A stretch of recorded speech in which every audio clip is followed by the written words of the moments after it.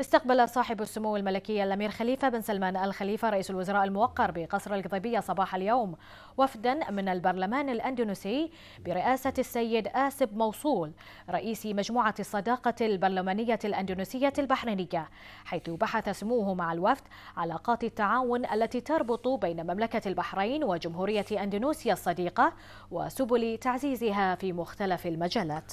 وخلال اللقاء رحب صاحب السمو الملكي رئيس الوزراء بالوفد البرلماني الأندونيسي مشيدا سموه بما يشهده مسار التعاون بين مملكة البحرين وجمهورية أندونيسيا الصديقة من تطور مستمر في مختلف المجالات في ظل ما يربط بين قيادتي وشعبي البلدين الصديقين من روابط وعلاقات متميزة تتسم بمستوى عال من التفاهم والتنسيق لتحقيق المصالح المشتركة للبلدين والشعبين الصديقين.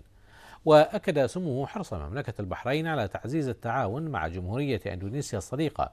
منوها سموه بما تمثله أندونيسيا من ثقل سياسي واقتصادي كبير في العالم الإسلامي يؤهلها للقيام بدور بناء في مد جسور التعاون بين الدول الإسلامية والأسيوية وحشد الدعم للقضايا العربية والإسلامية في المحافل الإقليمية والدولية.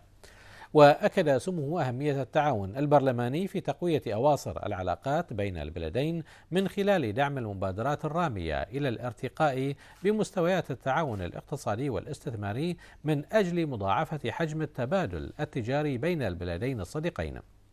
من جانبه أشاد وفد البرلمان الأندونيسي بما لمسه من صاحب السمو الملكي رئيس الوزراء من حرص على تعزيز التعاون الثنائي بين البلدين الصديقين منوها الوفد بما يربط البلدين والشعبين الصديقين من روابط صداقة وتعاون بناء في مختلف المجالات.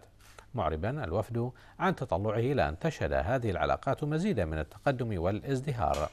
لا سيما في جانب تعزيز التعاون البرلماني والمشروعات المشتركة. التي تعود بالنفع على الشعبين الصديقين.